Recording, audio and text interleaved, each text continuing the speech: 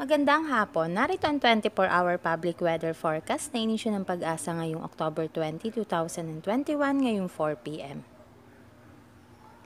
Ayon nga sa pag-asa ay Intertropical Convergence Zone or ITCC ang nakakaapekto ngayon sa Southern Luzon, sa Visayas at sa Mindanao.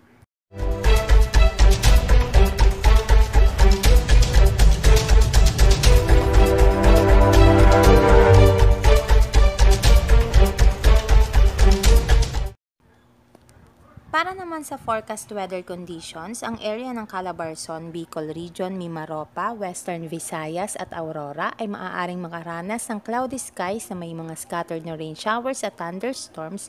Ito ay dulot pa rin ng ITCC. Habang ang Batanes at Babuyan Islands ay maaaring magkaroon ng partly cloudy to cloudy skies sa may mga isolated na light rains, ito naman ay dahil sa northeasterly surface wind blow.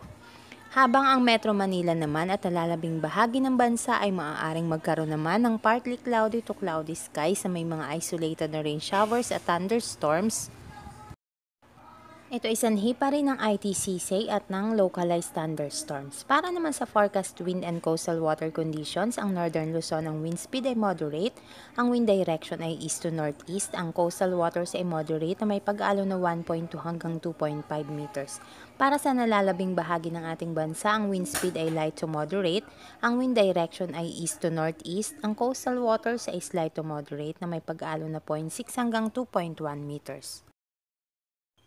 Ang ating sunrise bukas sa umaga ay sa ganap na 5.48 a.m. at ang ating sunset ngayong hapon ay sa ganap na 5.33 ng hapon. Ang ating moonrise ngayong hapon ay sa ganap na 5.29 at ang ating moonset bukas ay sa ganap na 6.07 ng umaga. Para sa pinakalita sa weather update ay huwag kalimutang i-follow at i-like ang DOST Pag-asa official Facebook page.